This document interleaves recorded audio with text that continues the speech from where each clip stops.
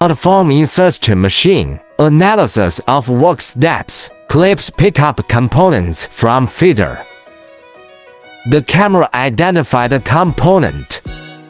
Align holes and insert components.